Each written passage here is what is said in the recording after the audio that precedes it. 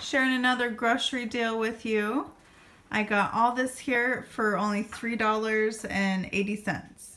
Now this is a Safeway deal. Now luckily we have one that's in walking distance so I just get the kids in the stroller and head on over and it's just a quick trip for me.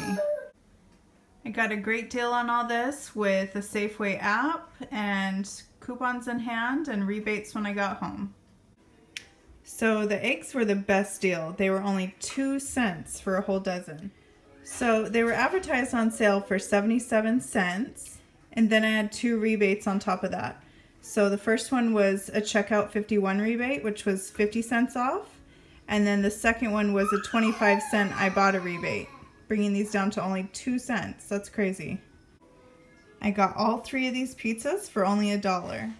First, I used a digital coupon that was a dollar off three. And then I came home and did a SavingStar rebate, which was another dollar off.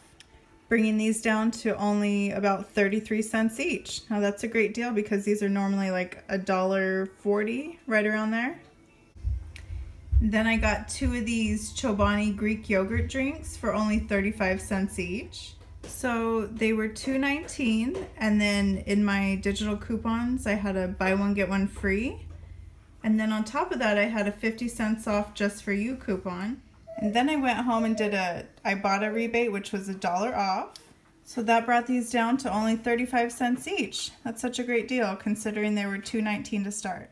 And I got these with my husband in mind because he's recovering from getting his tonsils out just a few days ago. So poor guy can drink something, you know, different other than ice cream and pudding. Then I got a great deal on these Kraft mac and cheese at only 45 cents each. They were advertised at 79 cents each. And then I went home and did an Ibotta rebate, which was a dollar off three.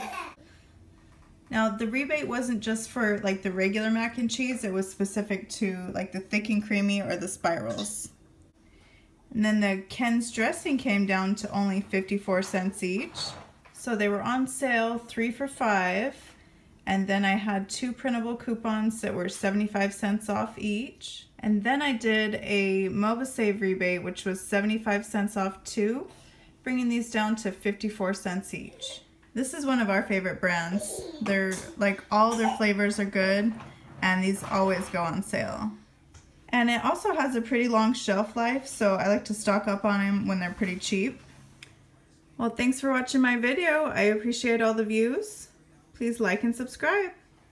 I'll put all the details in the description below. If you have any questions or comments, please feel free to leave your feedback. I appreciate it. Thank you.